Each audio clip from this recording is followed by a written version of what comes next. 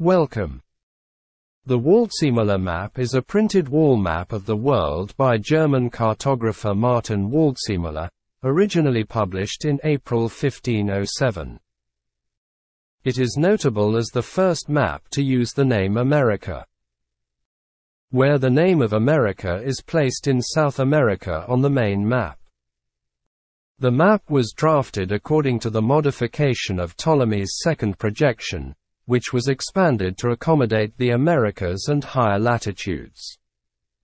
One copy of the map currently exists, and is in the Library of Congress in Washington, D.C.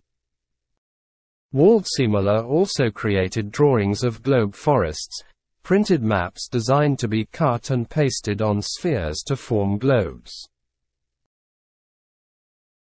The inscription at the bottom of the ship says, this land appeared here to the captain of the fourteen ships sent by the king from Portugal to Calicut. It was thought to be the mainland though, along with its previously discovered portion. It is a huge island full of sea of still unknown size, where both sexes, male and female, used to go just as their mothers gave birth to them and in fact here they are somewhat lighter than those found in an earlier expedition under the King of Castile.